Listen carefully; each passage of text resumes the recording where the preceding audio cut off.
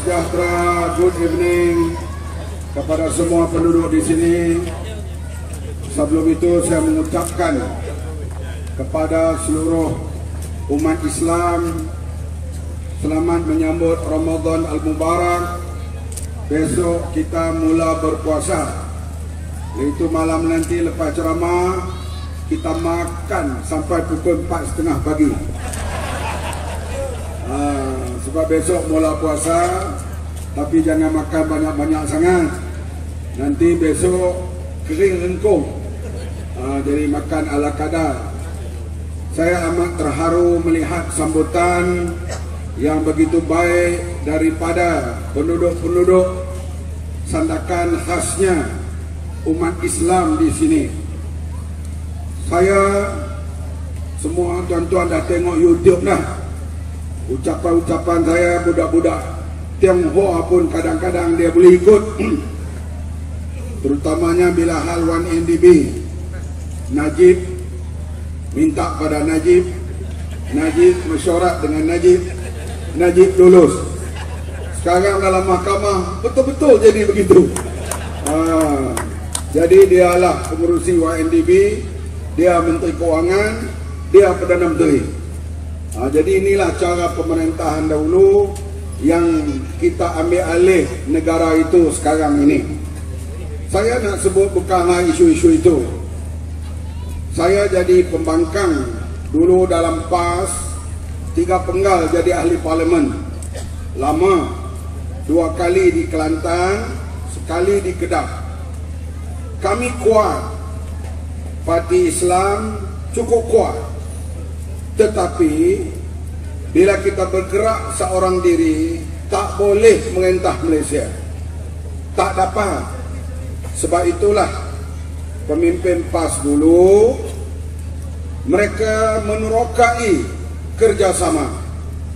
Akhirnya pada tahun 2008 PAS, DAP dan keadilan dapat mengadakan kerjasama coalition barulah kita boleh menang lima negeri dan boleh nafikan barisan nasional dua per tiga majoriti.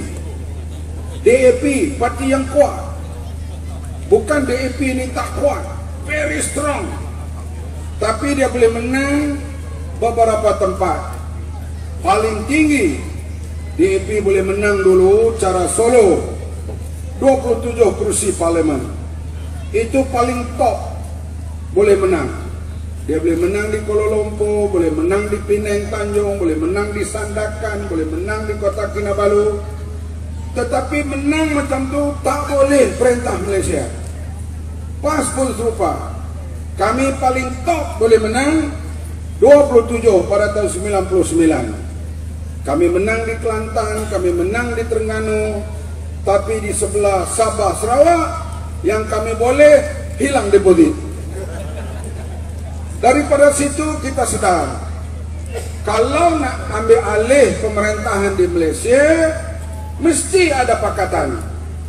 Sebab itulah pada tahun 2008 pemimpin PAS waktu itu mengambil keputusan kita kena bekerja sama dengan keadilan pimpinan Anwar Ibrahim DAP Lim Ki Siang Lim Guan Ing Kapal Sing pada waktu itu.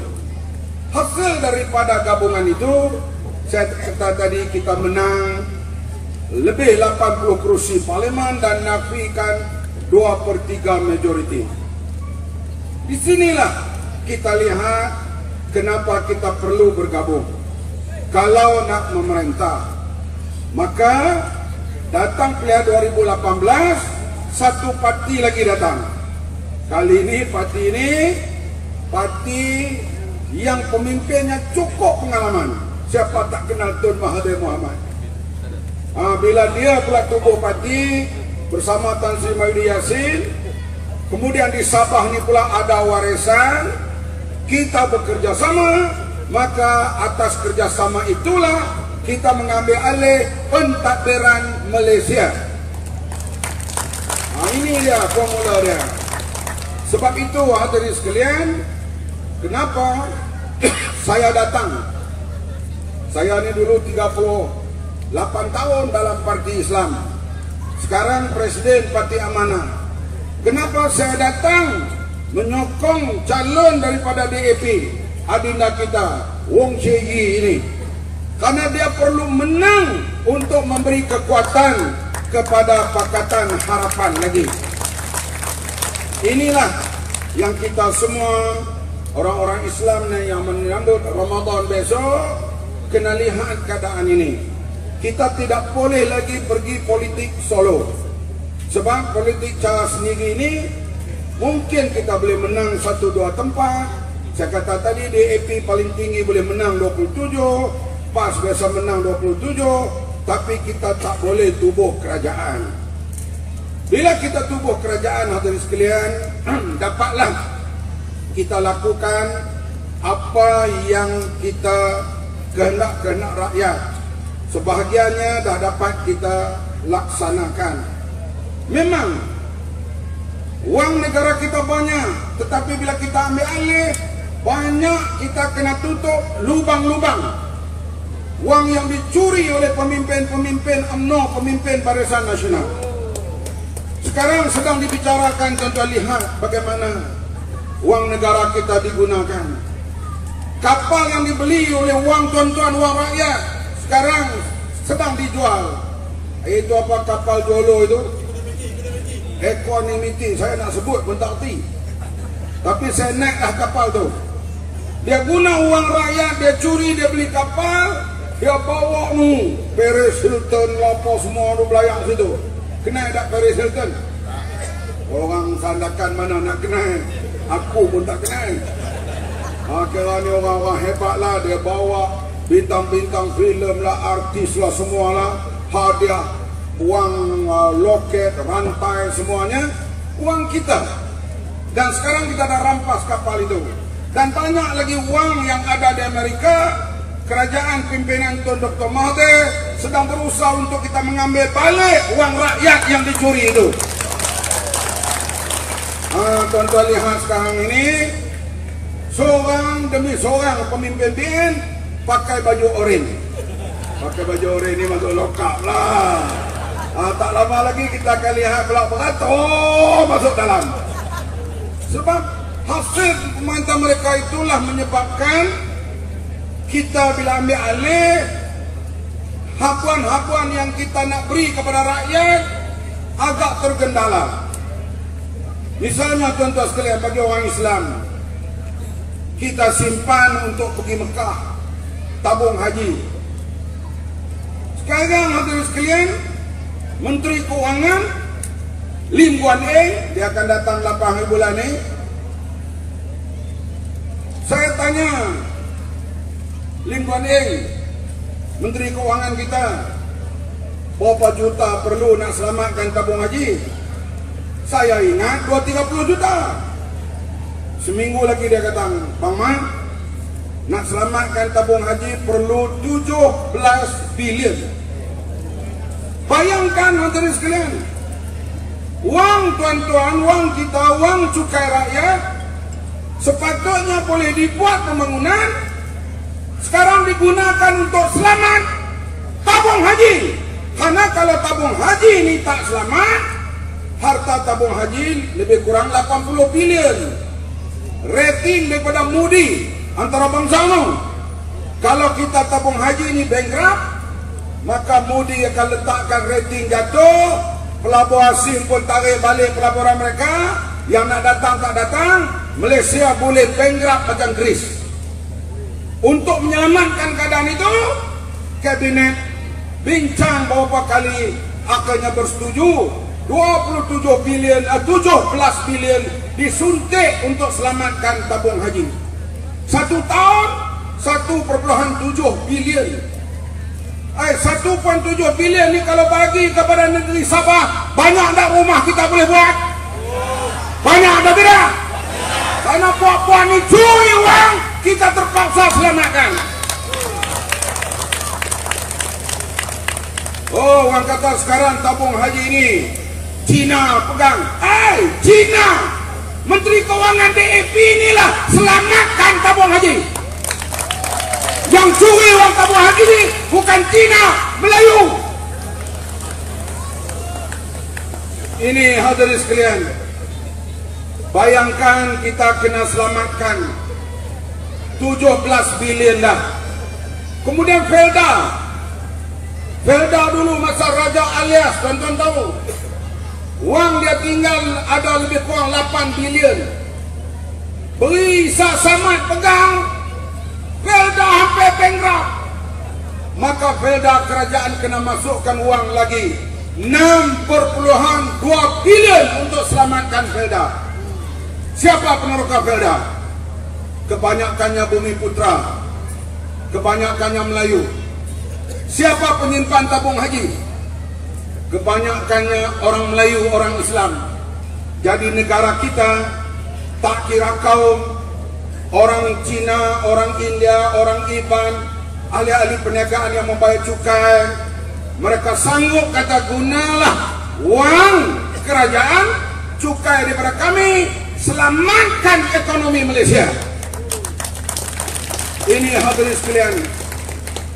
Sudah lebih kurang 20 17 campur dengan 6 perpuluhan dan sebagainya sudah 24 bilion memang nak buat kereta api ke Kelantan Dr. Mahathir suruh Tun Daim dan Nudin runding semula bincang balik akhirnya bincang-bincang-bincang peniaga ataupun Cina sanggup mengurangkan 21 bilion dapat diselamatkan lagi wang rakyat.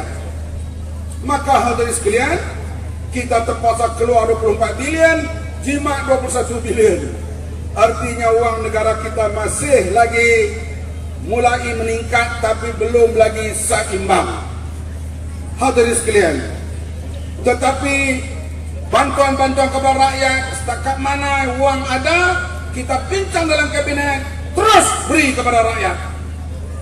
Saya jumpa beberapa kali yang amat yang berhormat Lim Guan Eng. Eh, tak boleh kau beri sikit kepada veteran tentera? Veteran tentera di Sabah, di Sarawak, di Semenanjung. Berilah sikit. Eng kata tak boleh, Bang Mat. Tak ada duit. Saya kata carilah, saya ulang pergi dua tiga kali ke pejabat menteri kewangan. Lama-lama dia meluat pun Dia kata Paman Okey kita boleh beri sikit. Kementerian Kewangan Keluarkan 80 juta Untuk beri kepada veteran tentera Menyambut Hari Raya Aidilfitri nanti Iaitu Anggota 100 ribu lebih Akan dapat 500 ringgit seorang Dalam bulan Ramadan ini Bayangkan hadirin sekalian kalau kita tak hilang wang Felda kerajaan tak perlu untuk selamatkan tabung haji. Bayangkan wang negara kita berada di tahap macam mana. Banyak lagi kebajikan dapat diberi kepada rakyat.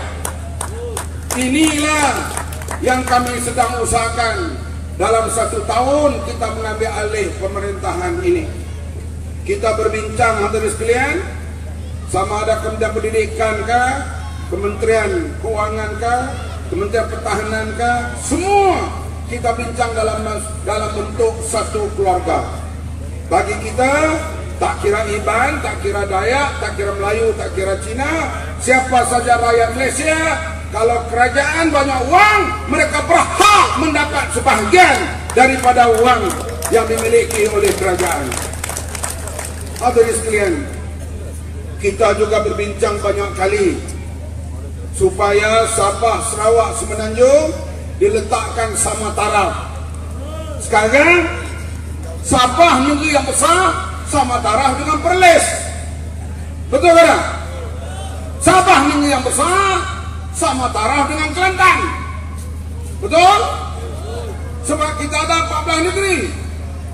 Tetapi Pakatan Harapan nak menyatakan hasrat pejuang-pejuang kemerdekaan Sabah Sarawak yang meletakkan setara dengan Semenanjung yaitu pembentukan Malaysia adalah daripada Semenanjung Malaysia Sabah dan Sarawak supaya Sabah dan Sarawak setara dengan seluruh semenanjung tu dianggap satu entiti. Sabah satu, Sarawak satu. Kita bawa dalam parlimen. Tetapi kita tak cukup 10 undi untuk menyamakan menyamakan Sabah, Sarawak dan Semenanjung. Oleh itu, kita harap pada 11 hari bulan nanti satu undi dalam parlimen akan datang daripada Wang Cieyi ini. Boleh semua? Boleh. Boleh? Ini bukan perkara main-main. Sebab tuan-tuan sebut Sabah ketinggalan, Sarawak ketinggalan, tengok Selangor maju, tengok Negeri Sembilan maju, tengok wilayah Sultan maju. Tapi bila kita nak sama tarafkan dalam parlimen, undi kita kalah. Kita kurang lagi 10 undi. Oleh itu kita harapkan dalam pilihan ini Pakatan Harapan akan tambah satu kerusi untuk kita boleh pindah perlembagaan pada masa yang akan datang insyaAllah.